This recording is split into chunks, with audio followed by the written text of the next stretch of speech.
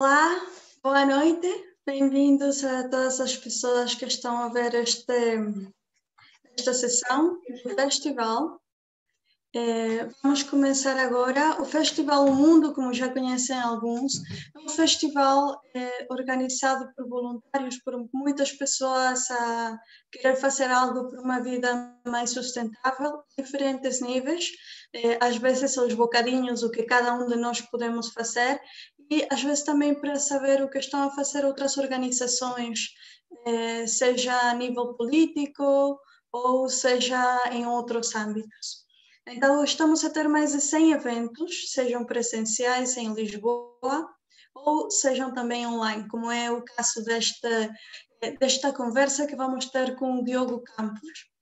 Diogo Campos, para quem não conhece, é ele começou uma viagem eh, pela América Latina, esteve lá na parte da América do Sul, por alguns países, uma viagem como acho que muitas pessoas temos tido eh, ou temos de ter, eh, para encontrar o sentido da vida, raízes, etc. E com toda esta viagem ele encontrou que justamente o que tinha de voltar era voltar à terra e começou então a introduzir-se mais nos temas da agricultura, da permacultura, etc, etc. Para mim, não só é um prazer estar aqui apresentar o Diogo, mas também muito engraçado, porque eu sou da América Latina, eu sou mexicana. Estive a viver também na América do Sul e, e justo estou a fazer essa viagem mais inversa, em Lisboa. Então, pronto, eh, agradeço muito ao Diogo. Vamos falar agora no papel que temos cada um de nós, no que comemos. Então, bem-vindos a todos, bem-vindos que estão nos a ver no Facebook. E vamos começar, Diogo. Muito obrigada.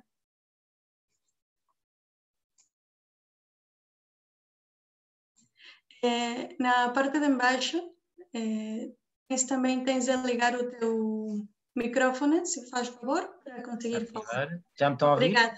Sim, sim, estamos a ver também o teu ecrã. Obrigada. Ok, ok. Ah. Então, pronto. Pronto, antes de mais gostava de, de agradecer ao Festival O Mundo uh, por este evento fantástico, mais um, na promoção de um planeta mais saudável Uh, e é preciso, de facto, uh, haver iniciativas destas uh, cada vez mais, que envolvam cada vez mais a população. E também quero agradecer pelo convite que me fizeram. Eu, na verdade, eu não, não gosto muito de, de falar, de ver pessoas a falar, prefiro a ação. Por isso, o que eu vou trazer hoje é uma solução que acredito ser simples de implementar, mas com grandes efeitos, tanto no imediato como para o futuro de várias gerações. Cada um de nós é ou não responsável pelo que está a acontecer ao nosso planeta. Será que nós temos poder, através das nossas ações, para determinar se o planeta será mais saudável? Para mim, a resposta é um claro sim, e as escolhas que fazemos na alimentação são um ponto-chave nesse ponto.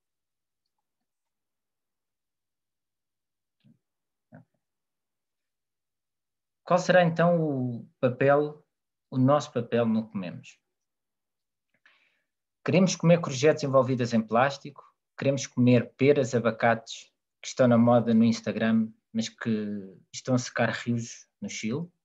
Queremos comer comida uh, que vem de outros países, como é o caso da quinoa, que vem da Bolívia e que está a impedir os locais de a comprarem porque o seu preço triplicou? Ou será preferível comermos courgettes escolhidas no próprio dia por um agricultor que nos dá confiança, que sabemos que não os pulverizou de químicos? Não é apenas a nossa saúde que está em jogo. São os organismos que estão no solo, são os lençóis freáticos que estão constantemente a ser contaminados e que estão a secar, e é a chuva que não cai porque as florestas estão de algar às monoculturas e às estufas. As nossas escolhas no comemos vai mesmo definir da forma como queremos que se pratica a agricultura no mundo. Será que queremos o lado esquerdo, o que está a provocar o deserto, ou queremos o lado direito, que está a regenerar o solo, a terra, a floresta? e isso vai trazer uma biodiversidade incrível. Basta nós observarmos o, desenvolvimento da agricultura no nosso país. Se vocês repararem, as empresas estão a fazer eh, a agricultura mais intensiva, das monoculturas, baseada nos subsídios, eles alugam as terras, eles alugam as terras por 10, por 20 anos. E porquê que será que eles alugam as terras? Eles alugam as terras porque sabem que a terra vai ficar pior, em pior estado, do que quando a compraram, quando começaram o seu negócio. Depois abandonam essas terras. Não deveria isso ser considerado um crime? A agricultura tem de parar de estar virada apenas para o negócio, para a parte financeira. Caso contrário, o negócio de hoje será o deserto de amanhã. Aliás, quando deixar de ser apenas virada para o negócio, vai ser mais rentável para todos. Já há exemplos no Brasil, com o exemplo da agrofloresta, que é mais rentável que a soja, que as plantações de soja geneticamente modificadas. Mas, na verdade, o problema não é o agricultor. O problema somos nós, os consumidores. Enquanto continuarmos a aumentar o negócio das monoculturas, da agricultura de plástico e dos tóxicos, não podemos reclamar. Mas vamos alimentar este lado esquerdo, o lado da desertificação. Se tivermos consciência do que não vemos, se tivermos consciência da forma como os alimentos são produzidos, onde, quando, como, esse é o primeiro passo. Mas acredito que as pessoas que estão a ouvir esta palestra já têm essa consciência. Assim, a apresentação de hoje não é a forma como podemos ganhar essa consciência, mas sim como podemos aumentar e fazer com que mais gente comece a escolher as florestas e não a desertificação. Pois o solo é capaz de criar fontes de água, de absorver os gases de efeito de estufa, de equilibrar o clima e de alimentar o mundo. Então, a solução será que passa por mudar a mentalidade do agricultor convencional? A mim não parece que essa seja a luta, pois é uma luta que vai dar bastante trabalho e será pouco rentável. Por um simples facto. Pelo simples facto de que, enquanto houver subsídios para as monoculturas intensivas, que exploram o solo, os nutrientes e os lençóis freáticos, não vai haver qualquer motivação para esses agricultores pararem. E esses subsídios saem dos nossos impostos. Somos nós que os estamos a pagar. Somos nós que estamos, de certo modo, a apoiar que estas agriculturas continuem.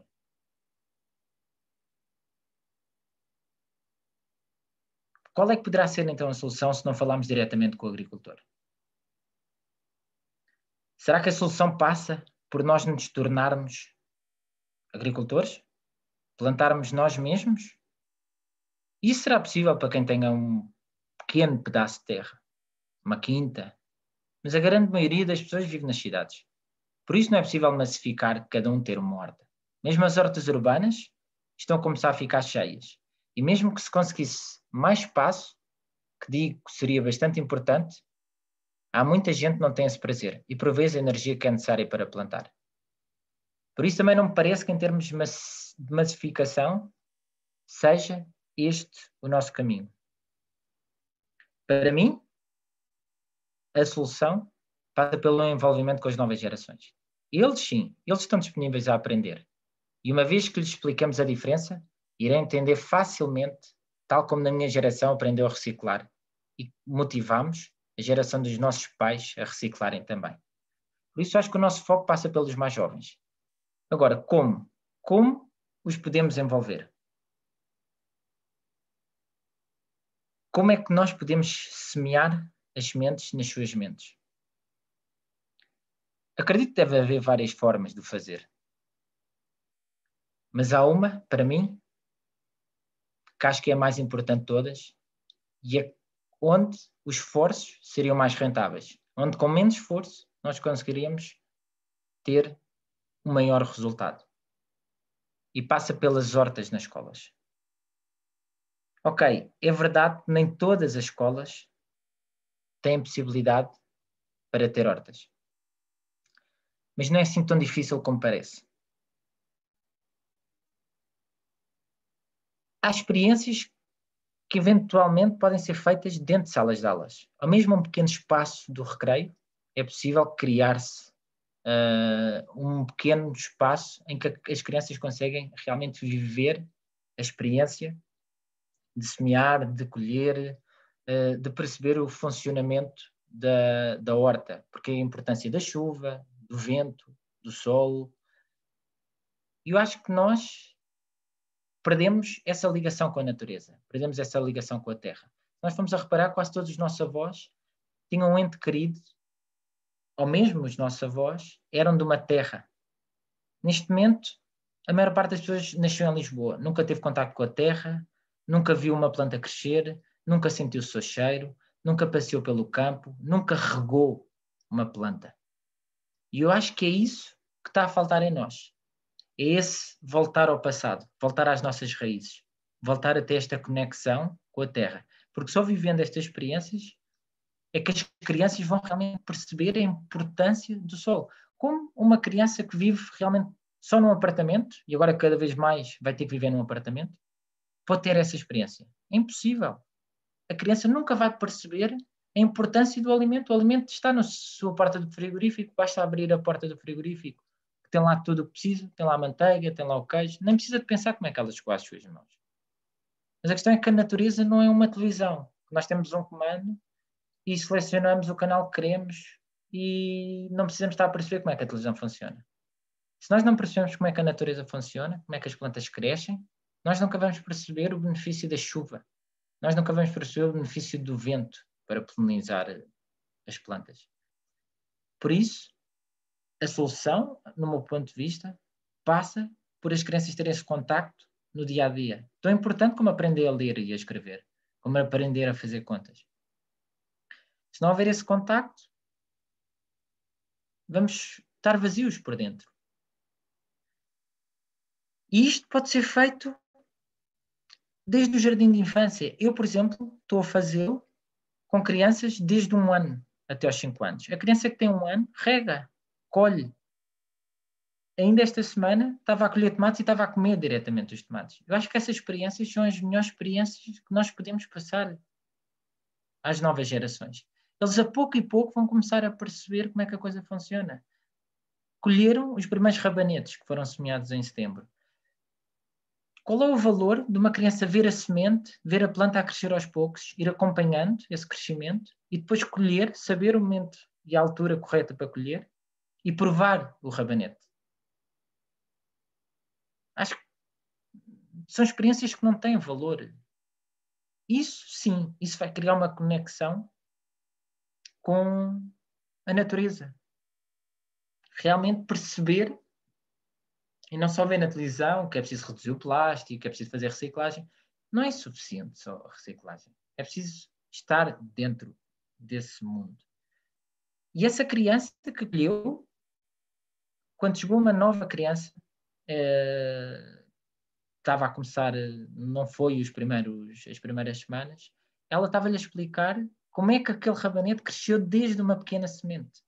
E ela já conseguia perceber o ciclo desde a semente até colher a planta. E depois não é só essa vantagem. Uh, as crianças vão ter o prazer uh, de realmente fazer parte desse crescimento. Vão perceber a importância do solo, o ciclo da água, a função dos quatro elementos para o crescimento das plantas. E isso vai ter uma influência muito grande nas gerações dos seus pais e dos seus avós. É por isso que não é só uma coisa que as hortas escolares só vão fazer efeito daqui a 10 ou 20 anos. Não, vão fazer efeito já.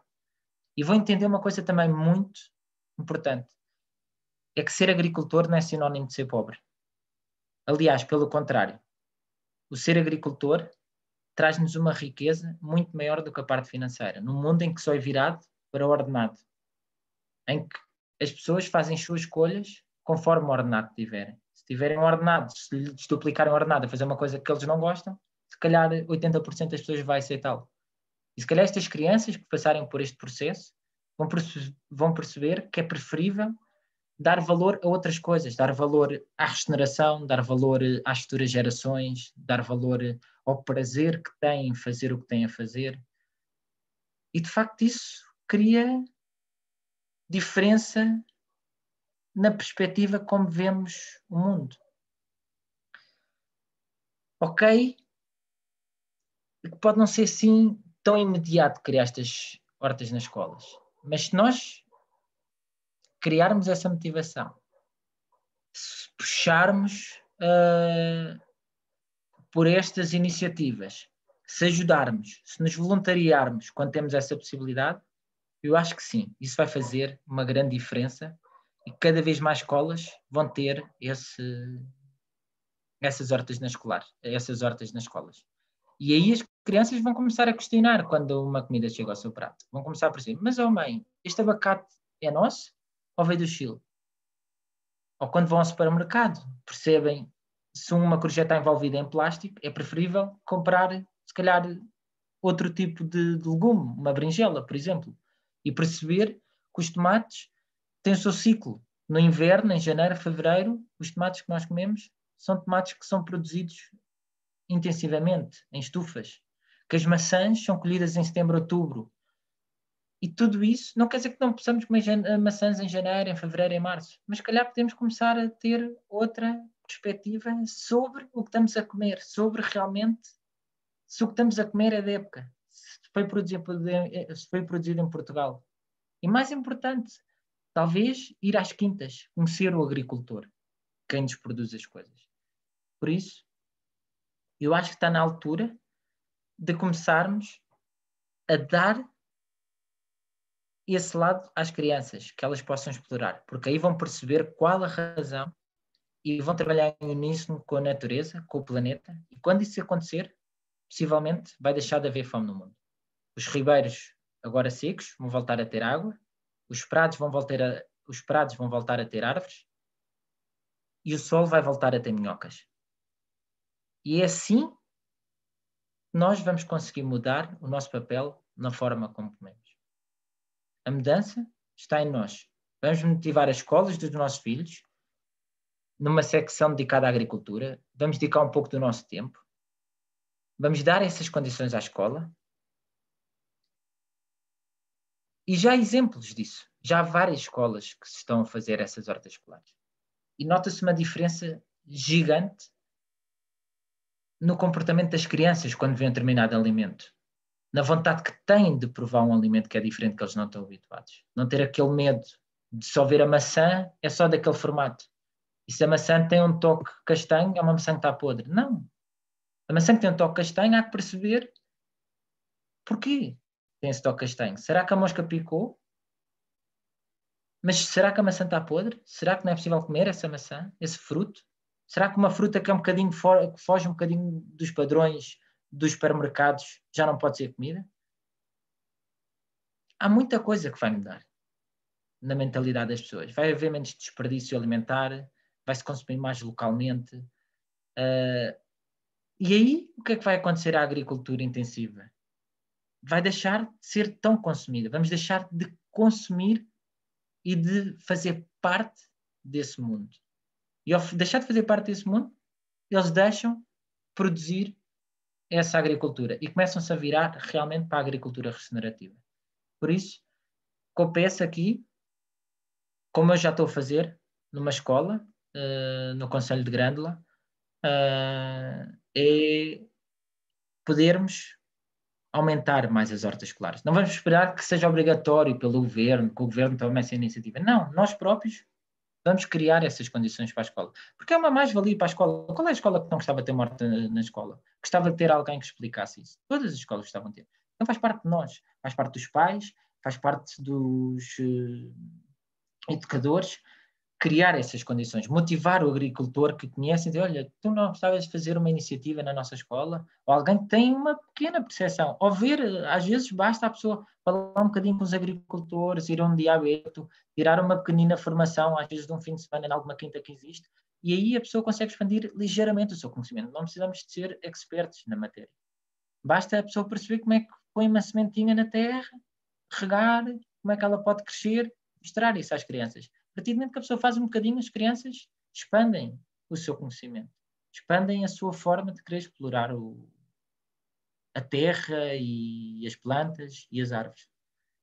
Uh, eu não me queria alongar já muito mais, uh, por isso o que eu deixo aqui é realmente um apelo para que nós possamos uh, fazer a diferença no futuro das nossas escolas e que seja um futuro breve, possa começar já este ano, que possa começar no próximo, que se multiplique e que e se alguém precisar de de alguma informação de como começar ou que atividades podem fazer, eu estou disponível para, para partilhar a experiência que estou a ter e, e documentação também tenho de, outros, de outras pessoas que já fizeram, porque já existe uh, vários, vários sítios a fazer, não só em Portugal, mas em todo, toda a parte do mundo, uh, para dar esse apoio. mais uma vez queria agradecer ao Festival do Mundo pelo convite foi uma apresentação curta, mas deixo. Acho Mais que... intensa. É, Agora temos aqui... um comentário da Rita que diz: eh, sem dúvida, eh, religar a terra é essencial. Precisamos de mais locais como as quintas pedagógicas, eh, que é maior qualidade de vida. E Marta diz: muito obrigada, concordo, é uma excelente iniciativa. E cá no Facebook também tem uma outra que te podes partilhar uma experiência, como estás a dizer. Ok. Pronto, eu estou na. Estou aqui num jardim, num espaço educativo, uh, o Jardim Alfazema, em Grândola. Vocês podem ver no Facebook. Uh, é uma iniciativa uh, que acolhe crianças de, de um, dois anos, acho eu, até, até aos 5, 6 até, até entrarem na, na escola no, no primeiro ano. E, e, a experiência é muito simples. Uh, existe um pequeno espaço, é um, uma escola primária antiga que foi adaptada e tem um espaço exterior razoavelmente grande. E a nossa experiência é tão pequenina quanto isto. Nós temos ali um carreiro, dois carreiros de horta, tem, sei lá, 8 metros, 10 metros de comprimento, 60, com 60 centímetros de largura, meio metro de largura. E o que nós estamos a fazer realmente é plantar, é fazer, plantar as alfaces, plantar os rabanetes, uh, plantar as couves, uh, mostrar, fazer uns viveiros, de mostrar a semente, por exemplo, para as crianças mais... Depois há atividades diferentes, de, se for para uma primária já dá para ir um bocadinho mais fundo, mas com estas idades, quando, quando estou a fazer, tem de ser coisas realmente muito simples. Por exemplo, eu peguei nas sementes mais fáceis de, de semear para fazer os viveiros, que é de beterraba, que são umas sementes um bocadinho maiores, e eles punham e tapavam. Um, e de facto isso cria uma iniciativa totalmente diferente. Eu faço uma vez por semana, eu vou lá. Com estas crianças basta 20, 30 minutos de, de uma atividade. Por exemplo, a última vez escolhemos os rabanetes Houve, enquanto uns regavam, outros escolhiam os rabanetes, escolhemos rabanetes diferentes, uns mais compridos, uns redondos, uh, uns eram brancos, outros eram brancos e cor-de-rosa, outros eram vermelhos.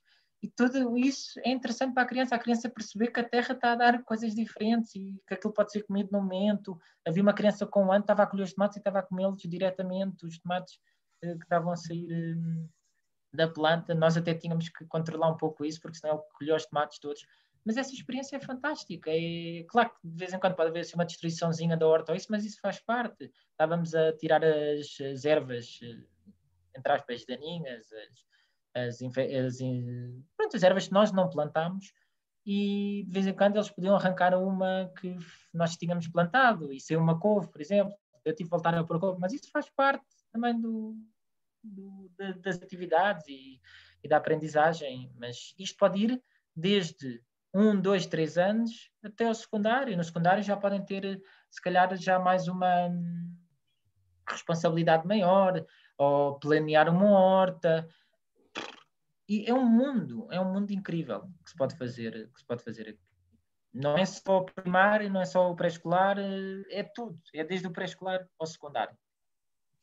Eu tenho uma, uma reflexão com isto que estás a dizer. Geralmente, eh, o mundo está a ver eh, certos indicadores na educação. Geralmente é a parte de literacia, de, da língua, e é a parte das matemáticas. Então, quando estamos a olhar lá os números, há uma correlação muito importante entre nível socioeconômico com esses indicadores, com esses resultados educativos.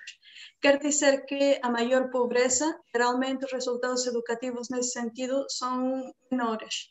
É importante saber que eh, geralmente o nível socioeconômico mais baixo está em zonas rurais, está no campo. E por que é interessante isto? Porque se nós começamos a olhar desde uma outra perspectiva, desde uma perspectiva, sei lá, vamos averiguar o que é que sabem as crianças sobre o ambiente, como é que concebem os ciclos da vida, como que estão a cuidar eh, o seu entorno. Se calhar vamos a ver uma outra coisa, porque estas situações que estás a dizer, temos a ensinar às crianças isto, eu acho que as crianças mais numa situação de cidade, não é? Numa situação onde elas mesmo não têm contato, muito contato com a terra, porque se então olhamos nestes outros lugares que são considerados eh, pobres, com um nível eh, educativo mais baixo que estas outras crianças da cidade, são estas crianças eh, que conseguem ter uma perspectiva do que é a vida, se calhar às vezes até diferente, e não estou a fazer romantismo, porque é parte da tua vida diária. Tens de sair, ajudas a tua avó, ajudas a tua mãe, estás lá no campo, estás lá a, a, mexer tudo e se calhar a, compreender uma outra coisa. Não sei o que pensas disto. É, é, é, verdade, tem, tem uma consciência em termos e vivências muito, em termos de natureza, muito superiores às, às crianças da cidade. E, e na verdade, essa foi uma das. Eu tive um filho há pouco tempo, tem, tem dois anos, e essa foi uma das razões que me fez sair da cidade, que eu nasci em Lisboa, passei uh, eh, 25 anos em, em Lisboa, no centro de Lisboa, e pensei que ia viver a minha vida toda lá. Mas a partir do momento que eu vou para o campo, uh, começo a perceber a qualidade de vida que existe uh, fora de Lisboa, que para mim é bastante superior. E, e, eu queria dar a qualidade, essa qualidade que tu falaste, queria dar essa qualidade de vida ao meu filho, uh, que tem, tem dois anos, e ter essa experiência muito mais de campo, porque eu passei este período da quarentena, uh, estava numa quinta e ele passou o tempo todo comigo, era eu e ele, e eu, claro que a minha atividade em termos de agrícola teve que reduzir um bocadinho, mas ele regava comigo, estava a chover e ele vinha à rua comigo de galochas, de todo equipado para a chuva. Eu acho que essa experiência para ele foi fantástica. Ele é que dava a comida às galinhas, isso tudo. Agora, o que é que acontece? As crianças no meio rural normalmente sentem que não têm tantas oportunidades como as crianças na cidade. Porquê? Porque a sociedade está virada apenas para o lado económico. E eles pensam sempre, e, e de certo modo têm um contexto real, não é? Que as crianças na cidade uh, têm maior possibilidade de fazer mais dinheiro, ter um, ter um ordenado maior. Só que o que a sociedade está-se a esquecer é que não é só o dinheiro que conta. Uh, enfim, isto aqui dava, dava agora outro tema. Mas é importante passar às crianças realmente que a natureza é importante. E se nós passarmos às crianças da cidade que a natureza é importante, vão começar a valorizar mais o meio rural, vão começar a valorizar mais o agricultor. E quando o agricultor começar a ser mais valorizado, porque o agricultor é o principal afetado com as alterações climáticas. Existe uma tempestade, lá se vai o, as culturas desse agricultor, uh, pronto, tem ali se falta água, é o agricultor é o primeiro a, a sofrer, uh, se há grandes tempestades, o agricultor é o primeiro a sofrer, e há que tentar começar a mostrar que isso, que a parte agrícola é uma parte fundamental para a nossa sobrevivência. Uh, mas nós estamos habituados a esta monocultura intensiva que nos dá estes alimentos todos fáceis e rápidos, mas que está a criar uma destruição uh, realmente avassaladora. E quando nós dermos mais esse espaço ao meio rural, eu acho que essas crianças vão viver também outra experiência e não vão estar com tanta vontade de sair do meio rural, porque o problema é que as crianças vivem nesse meio rural, têm experiências fantásticas, mas estão sempre a desejar ir para a cidade. Podem passar por a cidade e podem fazer eh, realmente a vida na cidade, mas vão começar a valorizar muito mais o meio rural e vai haver muito mais crianças da cidade a querer explorar o meio rural. Não sei se. Sim, sim. Muito obrigada, Diogo. Acho que agora não temos mais perguntas. E então gostaria, se calhar, eh, pudesses fechar com algo, porque às vezes também deixamos a responsabilidade para as escolas e esperamos que as escolas façam o desenvolvimento dos programas e que sejam as escolas a que tenham essa responsabilidade. Às vezes nós, como pais, é como, pronto, é, é o sistema educativo que está mal que, que conseguiríamos fazer nós como pais, como família, como amigos, sei lá, como, como pessoas interessadas no bairro, nas crianças do bairro, etc. Obrigada. Eu acho que a primeira coisa é os pais perguntarem na escola, os pais, educadores, encarregados de educação, perguntarem na escola: vocês têm alguma secção virada para a agricultura? Só esta pergunta, só esta simples pergunta, vai. Se for, eu hoje faço a pergunta: tu amanhã fazias a mesma pergunta. Na outra semana, os outros pais faziam a mesma pergunta. O que é que a pessoa que está na escola, o diretor da escola, começa a pensar? Epá, de facto, os pais valorizam esta parte. Só essa pergunta já é fundamental. Fazer, mesmo que, que as pessoas não façam mais nada, se fizerem essa pergunta já estão a fazer muito. Porque as escolas vão começar a perceber que isso é importante. Que isso vai ser diferenciador para a escola do lado. Agora, além disso, é a pessoa poder dedicar uh, um bocadinho de tempo. Não quer dizer que tenha que ser essa pessoa a fazer uh, essa experiência na escola. Mas se a pessoa uh, criar a motivação de dizer, epá, eu gostava que a escola mandasse um mail, falasse com alguém na escola, dizer, olha, eu gostava que a escola onde está o meu filho tivesse uma parte de secção agricultura. O que é que nós podemos fazer para criar isso? Isso já é um passo a seguir. Isso já é algo que já vai a pessoa já está a ser proativa com a escola. Não está só. A questão não é pedir à escola e dizer que a escola tem de fazer isto. A questão é que a pessoa tem de ser proativa e ajudar e querer fazer parte de. Claro que se a pessoa tiver tempo, se a pessoa tiver um conhecimento, ou tiver algum agricultor que de, eventualmente possa ajudar nesse campo, melhor ainda.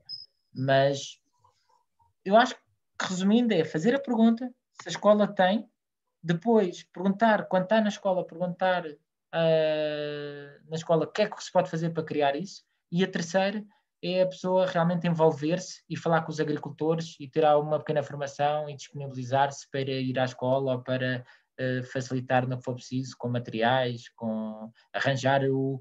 fazer um canteirozinho, qualquer coisa. Eu acho que aí as coisas começam a desenvolver, outros pais começam-se a juntar e uh, começa-se tudo a expandir. E outros pais que vão a essa escola começam a gostar dessa escola e querem também ter na sua escola, eu acho que isso expande-se rapidamente, porque quase ninguém é contra isto.